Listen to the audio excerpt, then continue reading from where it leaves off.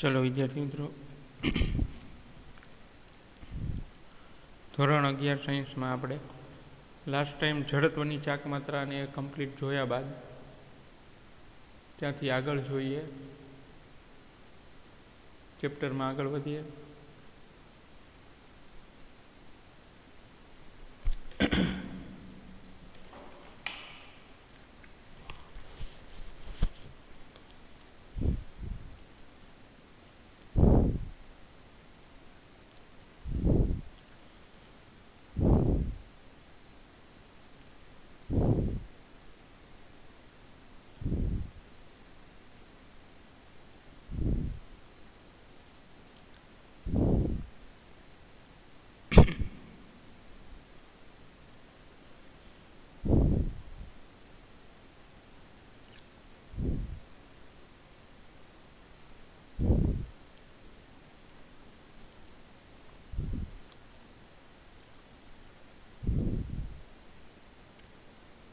હવે આપણે વાત કરી હતી છેલ્લા લેક્ચરમાં કે આપણે લંબ અક્ષનો પ્રમેય અને સમાંતર અક્ષનો પ્રમેય કોર્સમાંથી નીકળી ગયો છે.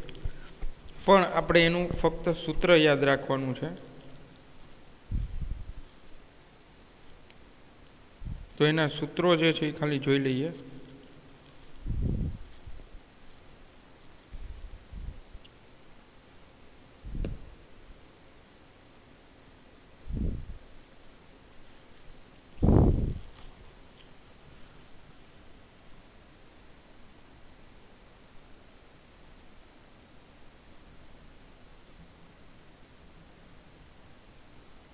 લંબ અક્ષનો પ્રમેય. તો આ એની આકૃતિ છે. આ કોઈ દ્રઢ પદાર્થ. આ એની એક્સિસ આ આઈ એક્સ આઈ વાય અને આઈ ઝેડ આ ત્રણેય ઝડપની ચાકમાત્રા છે. ત્રણેય દિશા માટે.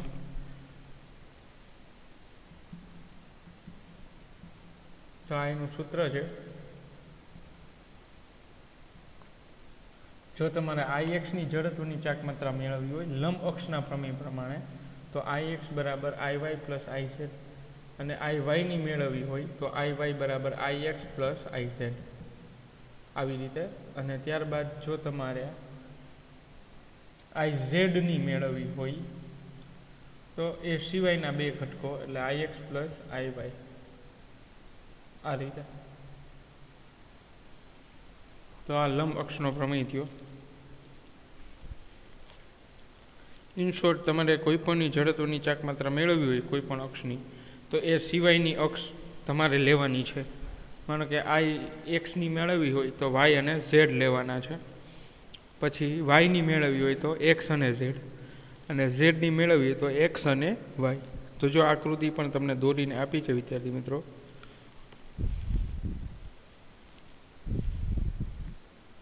પણ આપણા સિલેબસમાં નથી, પણ છતાંય આપણે સૂત્રો જે છે એ ખાસ યાદ રાખવા કે જેથી કરીને એક્ઝામ જે કોમ્પિટિટિવ એક્ઝામ છે નીટ જે ડબલી એની અંદર પૂછાય તો પ્રોબ્લેમ થાય નહીં.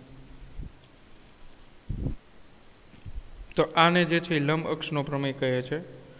લંબ અક્ષનો પ્રમેય કહેવામાં આવે છે. તમારા ટેક્સ્ટ બુકમાં છે જ, એની એની જે સૂત્ર છે, વ્યાખ્યા છે એ પણ હશે.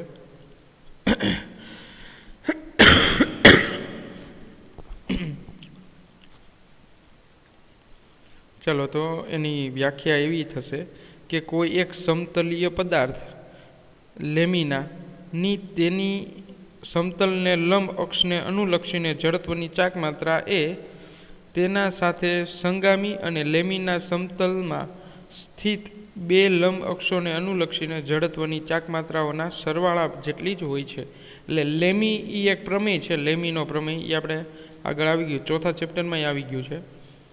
તો એ ટેક્સ્ટ બુકમાં તમને ડેફિનેશન આપી છે વિદ્યાર્થી મિત્રો. તો ત્યાંથી તમે જોઈ શકો ટેક્સ્ટ બુકમાંથી પણ અત્યારે આમાં હું નહીં લખાવું, લખવાની જરૂર નથી. ચાલો, લેમીના સિદ્ધાંતવાળી.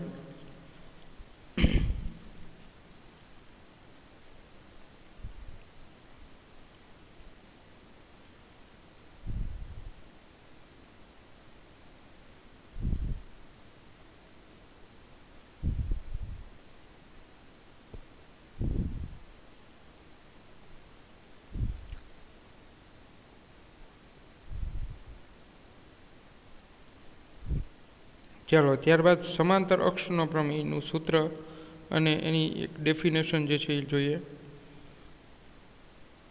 સમાંતર અક્ષનો પ્રમેય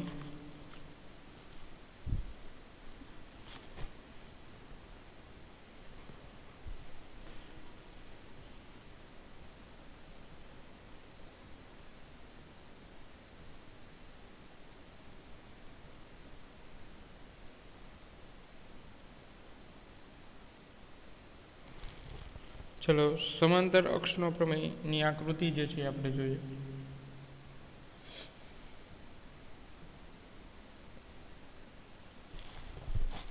સૂત્રો ખાસ યાદ રાખજો વિદ્યાર્થી મિત્રો.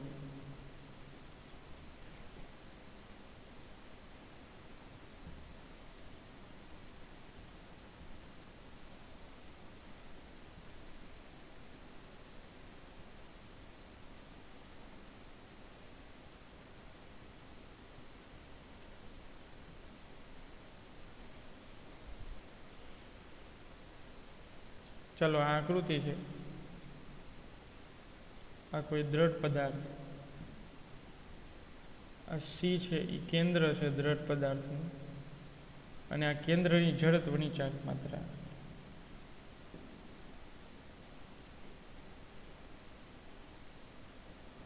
કેન્દ્રને અનુલક્ષીને જડત્વની ચાક માત્રા. જેને આઈસી પણ કહેવામાં આવે છે.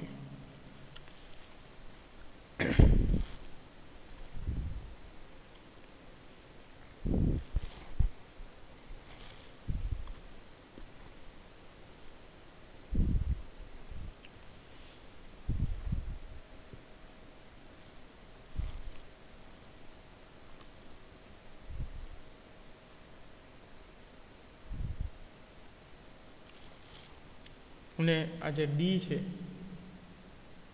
એ લંબ અંતર છે.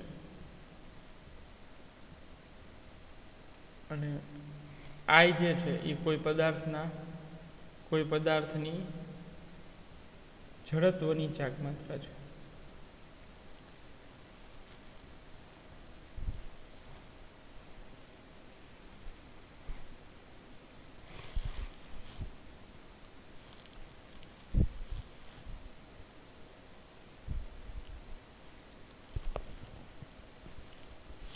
તો આ આઈ જડત્વની ચાક માત્રા મેળવવા માટે.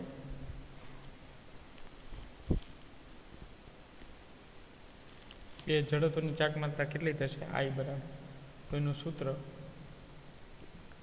સમાંતર અક્ષ માટેનું. તો આ જે મેળવી છે જડત્વની ચાક માત્રા એ આઈ બરાબર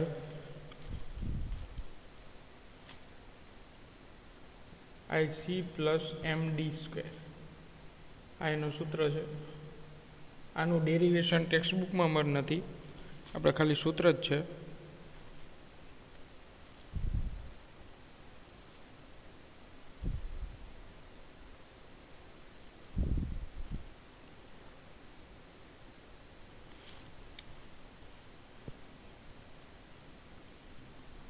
તો આઈ બરાબર જડત્વની ચાક માત્રા એટલે જે મેળવવાની છે એ આકૃતિમાં આપણે લખેલી છે આઈ રાઉન્ડ પણ કરેલું છે એ. પછી આઈસી એટલે તે પદાર્થના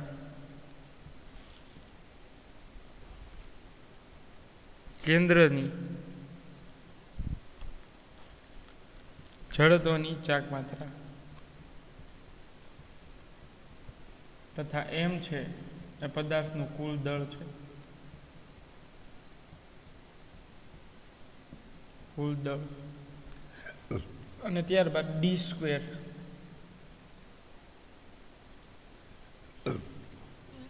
ડી સ્ક્વેર એટલે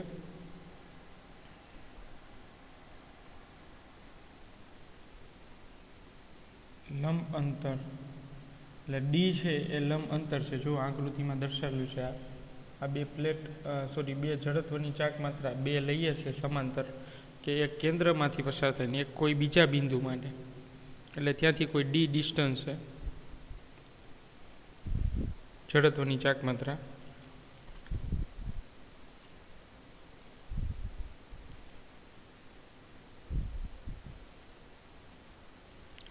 चलो आ सूत्रों याद रखना खास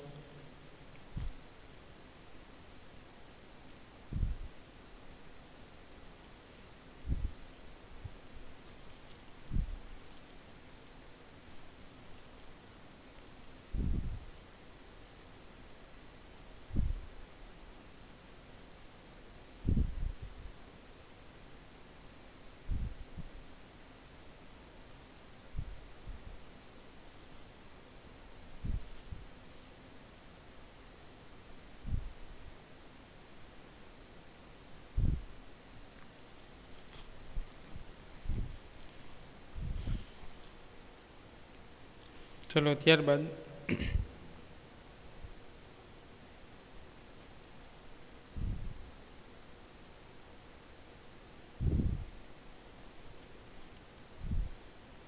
હવે આગળ જોઈએ વિદ્યાર્થી મિત્રો થિયરીમાં.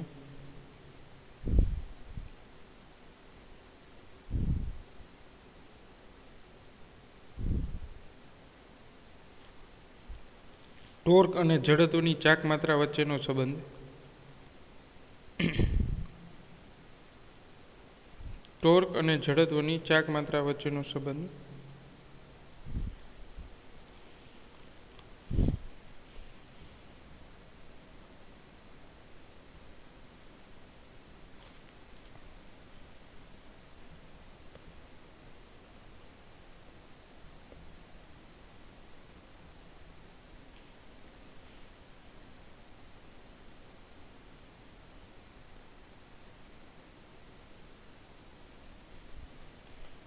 ચાલો વિદ્યાર્થી મિત્રો, તો શું છે? ચોર અને જડત્વની ચાક માત્રા વચ્ચેનો સંબંધ? જોઈએ.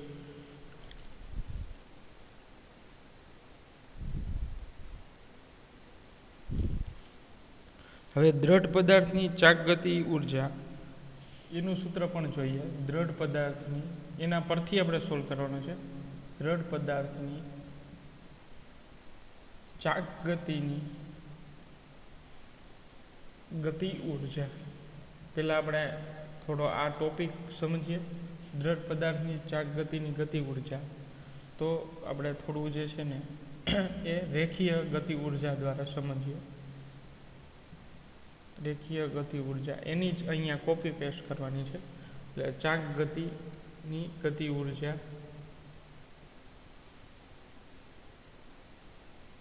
ચલો વિદ્યાર્થી મિત્રો, આપણો અત્યારનો ક્વેશ્ચન છે. કે ટોર્ક અને જડત્વની ચાક માત્રા વચ્ચેનો સંબંધ, ટોર્ક અને જડત્વની ચાક માત્રા વચ્ચેનો સંબંધ દર્શાવવાનો છે. હવે ટોર્ક જે છે, એક સમીકરણમાં ટોર્ક અને આઈ બંને સાથે આવવા જોઈએ. હવે એના માટે આપણે ચાક ગતિથી એને સોલ્વ કરવાનું છે ચાક ગતિની ગતિ ઉર્જાથી. તો વિદ્યાર્થી મિત્રો, રેખીય ગતિ ઊર્જા અને ચાક ગતિ ઊર્જા, આ બંને સૂત્રો જે છે, એ ચાક ગતિની ગતિ ઊર્જા, આ રેખીય ગતિ ઉર્જાના સૂત્ર પરથી મેળવી શકાય. જોઈએ કઈ રીતે, તો આમાં આપણે જે છે, એ રેખીય ગતિ ઉર્જાના જે ગતિ ઉર્જાના જે સમીકરણ જે છે, હાફ એમ વી સ્ક્વેર, તો એ જ રીતે જેમ આખા ચેપ્ટરમાં આપણે જોયું છે, રેખીયના જે સૂત્રો છે, વેગમાન, તો ક્રોસાર ક્રોસાર એ રીતે કરતા ગયા છે. તો ટૂંકમાં આપણે અહીંયા વેગ હોય તો એમાં કોણીય વેગ હોય, આમાં દળ છે તો જડત્વની ચાક માત્રા હોય. તો એ સંદર્ભે આપણે વાત કરવાની છે. તો આપણે જોઈએ કે આનું ટ્રાન્સફોર્મ કઈ રીતે આને બદલીએ. આ જે છે એ લિનિયરની છે, કાઇનેટિક એનર્જી લિનિયર ને આ કાઇનેટિક એનર્જી ફોર રોટેશનલ એટલે કે વર્તુળાકારની ચાક ગતિ ઊર્જા. તો હાફ એઝ ઇટ ઇઝ પછી દળ. તો આ ચેપ્ટરમાં દળ એટલે જડત્વની ચાક માત્રા આઈ તરીકે કામ કરે છે. દળ એટલે જડત્વની ચાક માત્રા આઈ તરીકે કામ કરે છે. અને ઓમેગા, અહીંયા વી છે. વી એટલે રેખીય વેગ છે. શું છે વિદ્યાર્થી મિત્રો? રેખીય વેગ. તો અહીંયા આવશે ઓમેગા એટલે કે કોણીય વેગનો સ્ક્વેર. લ્યો. ચાલો સમજાય? K R equal to half I omega square. તો આ સૂત્ર થશે ચાક ગતિ ઉર્જાનું. ચલો સમજાય? તો આ મોસ્ટ ટાઈમ છે ફોર્મ્યુલા ખાસ યાદ રાખવાની છે. સમજો વિદ્યાર્થી મિત્રો. અને આના પરથી આપણે વિદ્યાર્થી મિત્રો મેળવવાનું છે. ટોર્ક અને જડત્વની ચાક માત્રા વચ્ચેનો સંબંધ.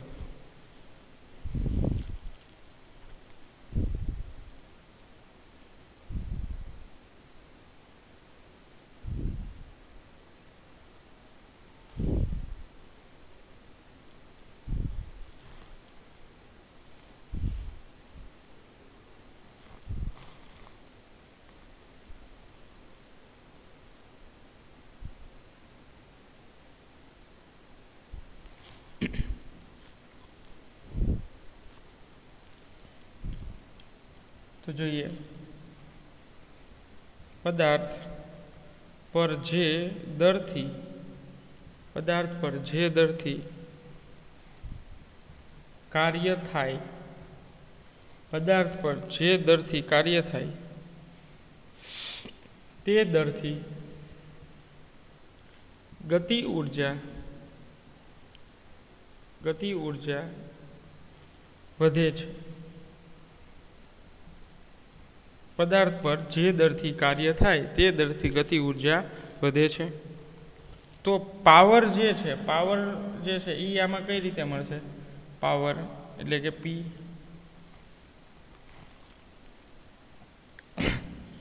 તો કે ગતિ ઉર્જામાં થતો ફેરફાર એ પાવરના મૂલ્ય બરાબર હશે. એટલે ડીકે બાય ડીટી એટલે કે ગતિ ઉર્જામાં થતો ફેરફાર અથવા તો આમ પણ લખી શકાય. એકમ સમયમાં ગતિ ઉર્જામાં થતો ફેરફાર એ પાવરના મૂલ્ય બરાબર હોય છે. અહીંયા લખી નખાય, આપણે કે ગતિ ઉર્જામાં થતો ફેરફાર એ ગતિ ઉર્જામાં થતો ફેરફાર એ પાવરના મૂલ્ય બરાબર, પાવરના મૂલ્ય બરાબર હોય છે.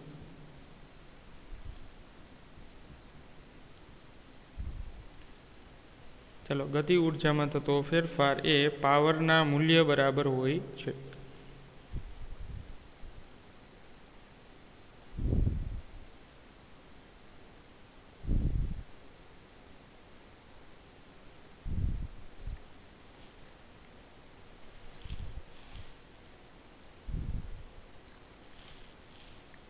ચલો, તો હવે આપણે ગતિ ઉર્જાનું વિકલન કરીએ, તો આપણને પાવર મળી જશે. તો D K by D T equal to power તો હવે ગતિ ઉર્જાનું સૂત્ર એટલે આમ પણ લખી શકાય ડી બાય ડીટી કેની કિંમત જે છે એ આપણે અહીંયા હું મૂકી દઉં half I omega square half I omega square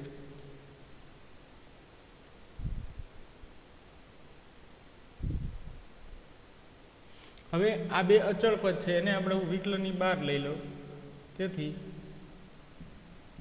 અચળ પદ એટલે કે હાફ આઈ એ જે છે એ બહાર લઈએ આપણે, તો વધે શું? D by dt omega square ચલો આટલું વધે.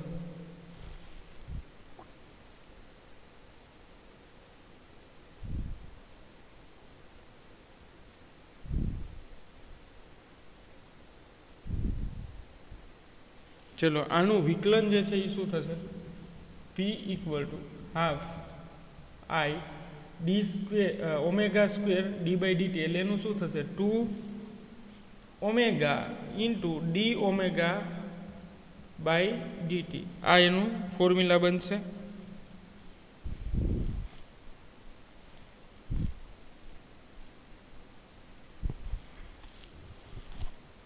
ચાલો. પી બરાબર one half I two omega into d omega by dt આનું મેં વિકલન જ કરેલું છે. વિકલન તમને ખાસ યાદ હોવું જોઈએ. Two omega, d omega by dt હવે આપણે જાણીએ છીએ, વિદ્યાર્થી મિત્રો, કે હાફ ટુ આઈ ઓમેગા, હવે ડી ઓમેગા બાય ડીટી એટલે એકમ સમયમાં કોણીય વેગમાં થતો ફેરફાર. તો આ જે છે એ આલ્ફા કહેવાશે. શું કહેવાશે વિદ્યાર્થી મિત્રો? આલ્ફા, એટલે કે કોણીય પ્રવેગ કહેવાય. તો અહીંયા હું લખી નાખું આલ્ફા, કોણીય પ્રવેગ. ચાલો રેડી છે? તો આખું ફોર્મ્યુલા ક્લિયર હવે અહીંયા જો આ કેન્સલ થાય છે, એ કેન્સલ કરી લીધા આપણે. તો પી બરાબર શું બચે છે? આઈ ઓમેગા આલ્ફા હવે જો આ ક્યાંક જાણીતું સમીકરણ લાગે છે આઈ આલ્ફા જેમ રેખીયમાં એફ બરાબર એમ એ છે એફ બરાબર એમ એ દળ અને પ્રવેગ. તો એવી જ રીતે ચાંક ગતિમાં ટોર્ક બરાબર શું થશે? દળની જગ્યાએ શું આવશે? જડત્વની ચાક માત્રા. કારણ કે એમાં દળ જડત્વ તરીકે કામ કરે. તો આમાં આઈ એટલે કે જડત્વની ચાક માત્રા જડત્વ તરીકે કામ કરે. આ છે રેખીય પ્રવેગ. તો અહીં આપણે લખવાનું થશે કોણીય પ્રવેગ. તો ટોર્ક બરાબર શું થશે? I alpha. તો આ આલ્ફા બી છે અને આઈ બી છે. તો ત્યાં થઈ જશે ટોર્ક. ચલો. વાંધો નહીં, ભલે લખેલું. આપણે અહીંથી કન્ટિન્યુ કરીએ આગળ. આ સમજવા માટે છે. ચલો. ચલો, તો પી બરાબર આઈ આલ્ફા ઓમેગા પી બરાબર આઈ આલ્ફા ઓમેગા થશે. તો પી બરાબર આઈ આલ્ફાની જગ્યાએ લખાશે ટોર્ક ઇન્ટુ ઓમેગા તો જો ટોર્ક ઇન્ટુ ઓમેગા તો આ આ સૂત્ર પણ ક્યાંક જાણીતું છે વિદ્યાર્થી મિત્રો? આ સૂત્ર પણ ક્યાંક આપણે જાણીતું છે. જેમ કે રેખીય ગતિમાં પાવર, એનું સમીકરણ આવું કંઈક હતું. પાવર બરાબર બળ અને એને ગુણ્યા વેગ. ફોર્સ ઇન્ટુ વેલોસિટી આવું આપણે ચેપ્ટર નંબર છમાં જોયું છે. ચેપ્ટર નંબર છમાં જોયું છે. પાવર બરાબર બળ ગુણ્યા વેગ. ચાલો, સમજાય વિદ્યાર્થી મિત્રો?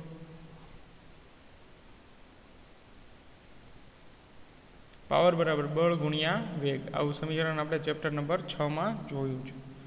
ચાલો, તો અહીંયા જો જે બળ છે, એ ટોર્ક તરીકે કામ કરે છે અને વેગ છે એ કોણીય વેગ તરીકે કામ કરે છે. તો આપણે ખાલી નામ જ ટ્રાન્સફર કરવાના છે, વિદ્યાર્થી મિત્રો. એટલે આ ટોપિક આપણા માટે હાર્ડ નથી, સમજો વિદ્યાર્થી મિત્રો.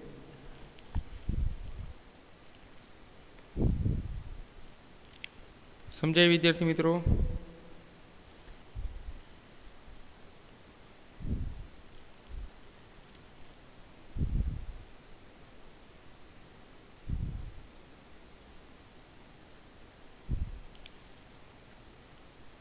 ચલો તો આ રિલેશન મળી ગયું આપણે.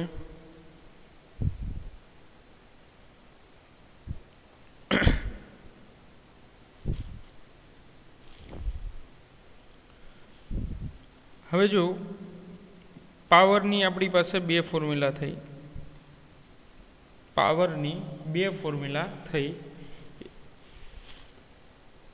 એક ફોર્મ્યુલા થઈ આ, પાવરની આઈ ઓમેગા આલ્ફા અને બીજી ટોર્ક ઇન્ટુ ઓમેગા. તો આ સૂત્રો બધા યાદ રાખજો, એમસીક્યુમાં ખાસ યાદ રાખવાના છે. નીટ જે ડબલઈની અંદર આ પોઈન્ટ જે છે એ ઓનલી સ્પર્ધાત્મક પરીક્ષા માટે છે.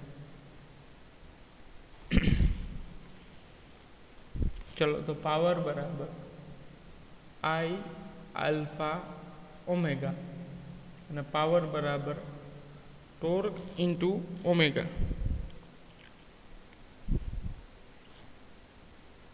આ બે ફોર્મ્યુલા થઈ.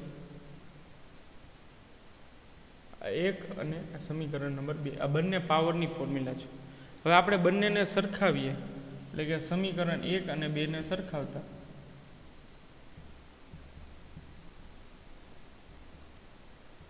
ચલો તો બેને કમ્પેરિઝન કરો.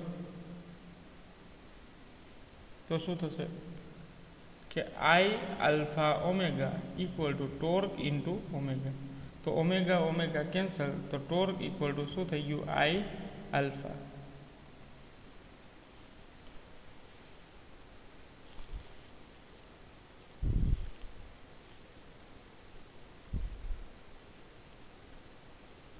તો આ સંબંધ થઈ ગયો? ટોર્ક અને જડત્વની ચાક માત્રા વચ્ચેનો સંબંધ, ટોર્ક બરાબર આઈ આલ્ફા. અને જો તમને કોણીય પ્રવેગ મેળવવાનું પૂછે, તો કોણીય પ્રવેગ બરાબર ટોર્ક અપોન આઈ. કોણીય પ્રવેગ એટલે ટોર્કના છેદમાં જડત્વની ચાક માત્રા આવશે. તો જો કોણીય પ્રવેગ પૂછે, તો એની સાથેનો સંબંધ શું મળશે? તો કે કોણીય પ્રવેગ એ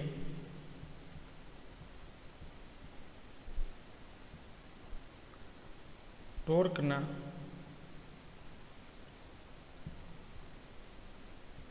સમપ્રમાણમાં કોણીય પ્રવેગીય ટોર્કના સમપ્રમાણમાં અને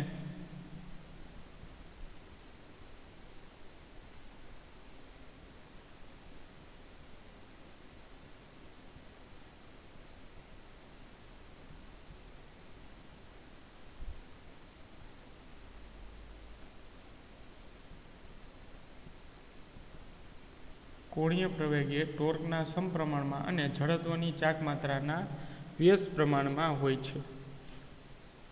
ખાસ યાદ રાખો. કોણીય પ્રવેગ એ ટોર્કના સમપ્રમાણમાં અને જડત્વની ચાક માત્રાના વ્યસ્ત પ્રમાણમાં હોય છે.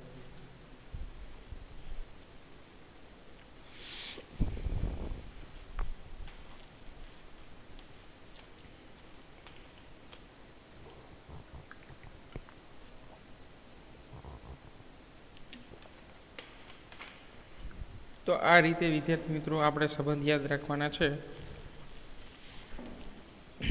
કારણ કે એમસીક્યુની દ્રષ્ટિએ આજના ટોપિક છે એ બધા અગત્યના છે.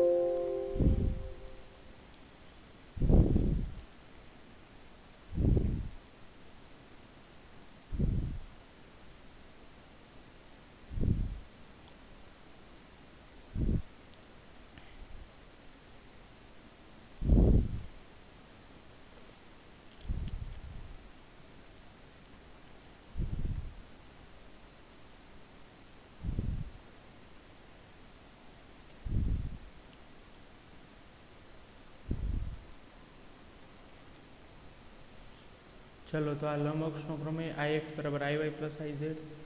પછી સમાંતર અક્ષનો પ્રમેય, એ છે આઈ બરાબર I C plus M D square. ત્યારબાદ આ યાદ રાખવાનો છે સમાંતર અક્ષનો પ્રમેય, લંબ અક્ષનો પ્રમેય. પછી ટોર્ક અને જડત્વની ચાક માત્રા વચ્ચેનો સંબંધ. એ પણ અગત્યનો છે વિદ્યાર્થી મિત્રો. એના જે સૂત્રો છે એ તમારે બધાએ ખાસ યાદ રાખવાના છે. એના સૂત્રો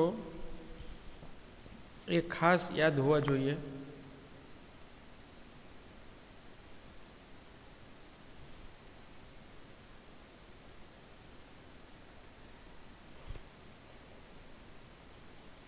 અને ચાલો ત્યારબાદ આનું સોલ્યુશન કે એક આ યાદ રાખવાનું તમારે એકમ સમયમાં ગતિ ઉર્જામાં થતો ફેરફાર પાવરના મૂલ્ય બરાબર હોય છે. તો તમે ગતિ ઉર્જાનું કોઈ સમીકરણ આપેલું હોય દ્વિચલ પદમાં, તો એનું સમય સાપેક્ષે એટલે કે ટી સાપેક્ષે વિકલન કરશો, તો પણ તમને જે પાવર છે એ મળી જશે, વિદ્યાર્થી મિત્રો. સમજાય છે? પાવર જે છે એ તમને એ રીતે મળી જશે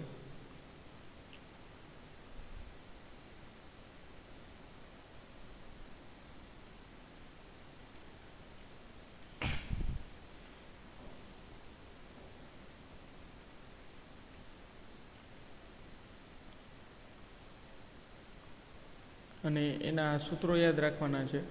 આઈ આલ્ફા ઓમેગા અને tau tau omega tau omega અને આઈ આલ્ફા ઓમેગા આ બેને સરખાવો તો ઓમેગા ઓમેગા કેન્સલ થઈ જશે. અને ટોર્ક બરાબર આઈ આલ્ફા થશે. જેમાં આઈ જે છે એ જડત્વની ચાક માત્રા છે. તો આ બે વચ્ચેનો સંબંધ આપણે આ જ ક્વેશ્ચન હતો આપણો, કે ટોર્ક અને આઈ વચ્ચેનો સંબંધ. તો આ છે ટોર્ક અને આ છે જડત્વની ચાક માત્રા.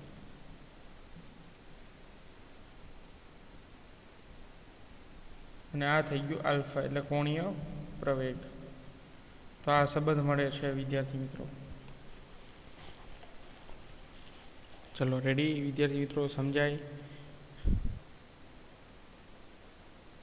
Torque equal to I alpha ત્યારબાદ P equal to I alpha omega P equal to torque omega અને આલ્ફા એટલે કે કોણીય પ્રવેગ એ ટોર્કના સંપ્રમણમાં ને જડત્વની ચાક માત્રાના વ્યસ્ત પ્રમાણમાં હોય છે. એ ખાસ યાદ રાખવું છે, આપણે સ્વાધ્યાયના દાખલામાં એ સૂત્રો બધાના હાલતા ઉપયોગ પડશે. ટૂંકમાં ડગલે ને પગલે એના ઉપયોગોની જરૂર જે છે એ પડશે આપણે. હવે નેક્સ્ટ લેક્ચરમાં હું તમને એક કોષ્ટક છે એ ટીક કરવાનું છે તમારે. એટલે એ પાકું હોવું જોઈએ નેક્સ્ટ લેક્ચરમાં તમારે.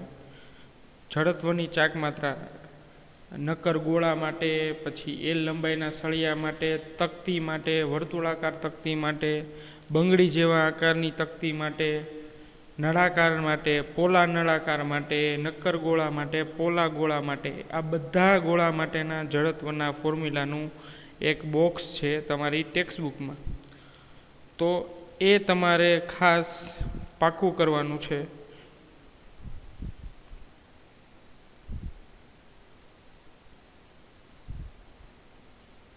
ખાસ તમારે એ પાકું કરવાનું છે.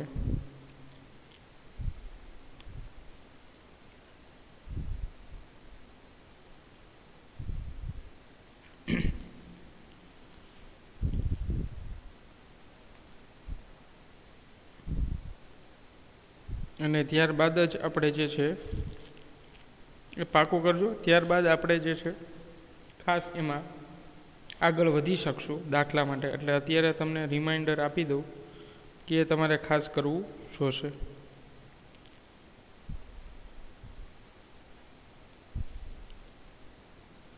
ચાલો વિદ્યાર્થી મિત્રો, હવે આજના લેક્ચરમાં આટલું જોઈએ. નેક્સ્ટ લેક્ચરથી એ કોષ્ટક તમારે હોમવર્કમાં મેં આપેલું છે, અહીંયા લખી દઉં છું. જડત્વની ચાકમાત્રાનું કોષ્ટક. પાક્કું તમારે કરવાનું છે, યાદ રાખવાનું છે. અને પાંચ વાર હોમવર્કમાં લખવાનું છે, પાંચ વાર હોમવર્કમાં લખવાનું છે.